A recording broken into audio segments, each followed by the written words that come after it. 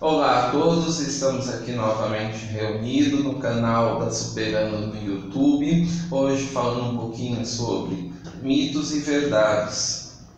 Isso vai ser mais para poder a gente conseguir tirar as dúvidas e a gente não sabe se realmente são verdade ou não.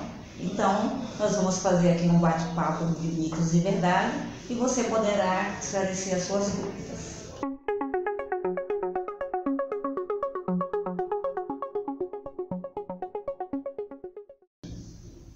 Eduardo, como deve ser o tratamento da pessoa com lúpus?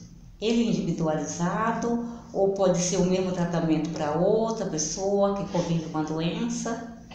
Verdade, ele precisa ser individualizado. Ainda que 10 pessoas tenham lúpus e comprometimento renal, cada uma vai ter de uma forma. Então, nas nefrite lúpicas a gente tem dois tipos e ainda um desses tipos a gente tem vários subtipos. Então, o que serve para um pode ser que não sirva para o outro.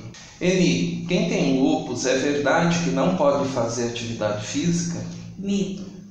A pessoa com lupus pode sim estar fazendo atividade física, desde que seja liberado pelo seu médico e orientado por um profissional. Não é saindo fazendo qualquer tipo de atividade física.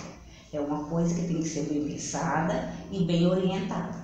Eduardo, o lupus pode ser confundido com outras doenças? É verdade. Muitas vezes, é, por o lupus ser complexo e não, muitas vezes um não diagnóstico ele se é feito através de vários critérios, seja eles laboratoriais ou clínicos, ele pode sim ser confundido com outras doenças. Por isso, ele tem que procurar um médico especialista, um bom reumatologista, e esse, através de exames e de análise clínica, poder fechar o diagnóstico e principalmente o tratamento que vai ser feito. Eni, quem tem lúpus, ele pode comer de tudo? Não.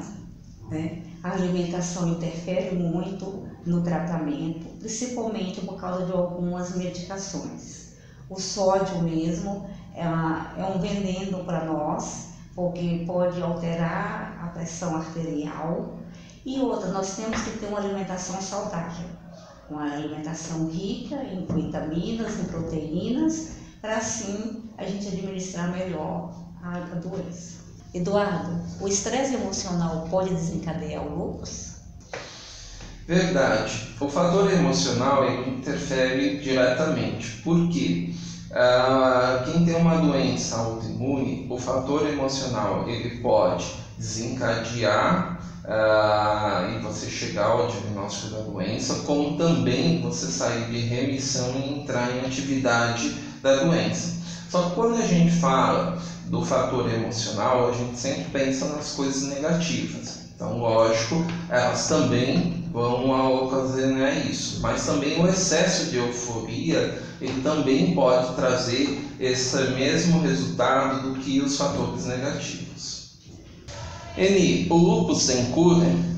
Não, até o momento ainda não foi descoberto a cura para o lúpus. Há sim o tratamento, então você fazendo o tratamento, tendo adesão ao tratamento, você vai viver uma vida quase que normal. Mas a cura ainda não, porque ainda não se sabe nem realmente qual é a causa do lúpus. Eduardo, quem convive com o lúpus pode se aposentar?